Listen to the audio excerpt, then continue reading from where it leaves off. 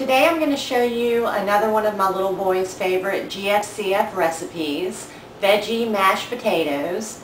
This one happens to be my favorite recipe because it's the easiest and it's the fastest, especially if you have your vegetables already chopped up. If you make more than you need every time, I think I may have mentioned that before, but preparation is key in the GFCF diet. Okay, let me tell you what you're going to need for the veggie mashed potatoes. Uh, you could use potatoes and wash them and peel them and uh, boil them and all that. Today we're going to do it Kimmy Krocker style. Betty Crocker, ooh, uh, that's a, a, relative of mine. Betty Crocker potato buds. These are GFCF. I have called the company. Um, you know, still call the company. That's, you know, your responsibility to check because I don't want to you know, if they slipped an ingredient in there, I don't want you to be mad at me.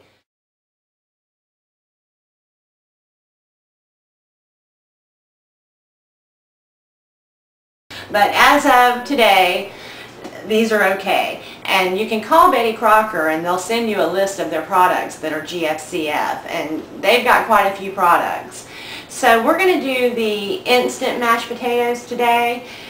If you would like uh, message me and I'll send you the recipe for using the real potatoes. It's almost, almost exactly the same. I mean, of course, it takes a lot longer. This, if you have your vegetables chopped, you can have these potatoes ready in five minutes. Um, and there's so many variations to this recipe. You could even omit the potatoes and do like a mashed uh, cauliflower and broccoli. You can take the mashed potatoes and make patties out of them and fry them in oil and those are really good, especially for little snacks that your children can walk around with. Okay, here's everything that you're going to need. Okay, like I said, for the way we're going to do it today, we're using Betty Crocker potato buds, which I've checked and they are GFCF. Uh, another thing, I don't know if I've mentioned the importance of a chopper before, but to me this is a necessity, especially if you have a picky child because you can chop up just about you know anything and sneak it in recipes. So you need a chopper, and this is a little one from Walmart, like you know 10 or 12 bucks. Okay, now you're going to need your vegetables that you have chopped up in the chopper. We're going to use cauliflower, broccoli, and onion. I don't know if I'm going to use onion today, but uh, just because I've already got these chopped up and I'm pressed for time. But a lot of times I'll chop up the onion also.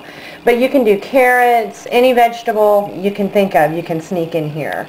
Uh, this is late, the latest thing that I've found. It's creamy butternut squash soup and I have been adding this to tons of recipes, and it is delicious. It smells so good.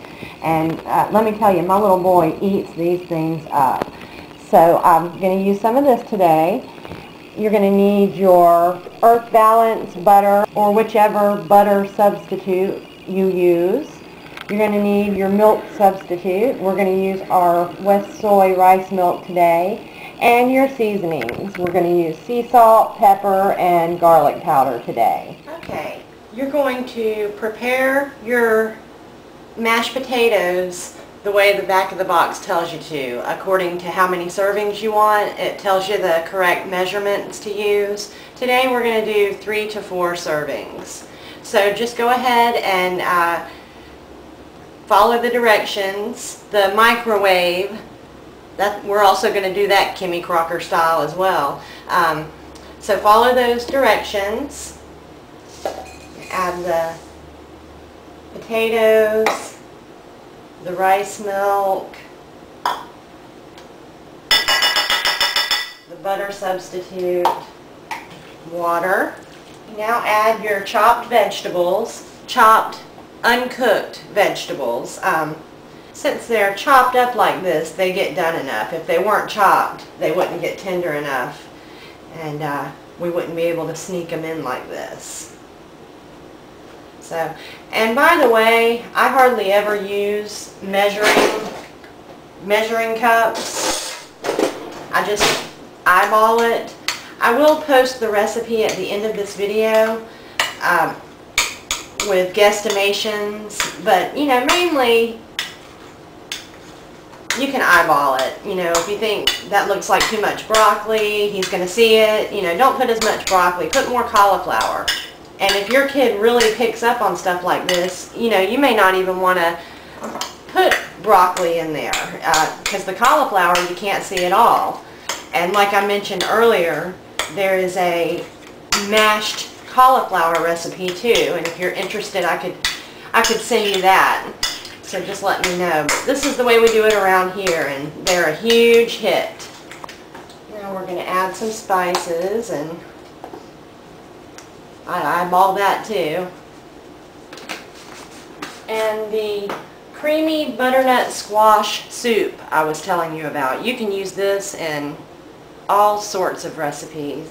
But just add a little bit of that in there, and that gives it a great flavor. Mix all of the ingredients up really well.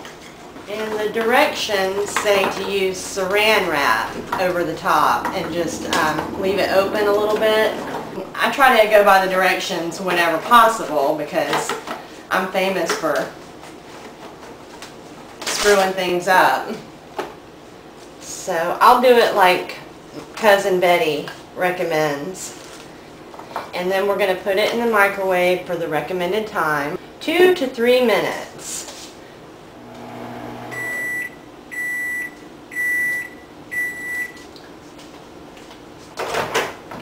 Alright, it's been two minutes and it's ready. If you if you listen to my advice, you'll have some meat in the uh, freezer. You can just pull out and put a piece of meat in the microwave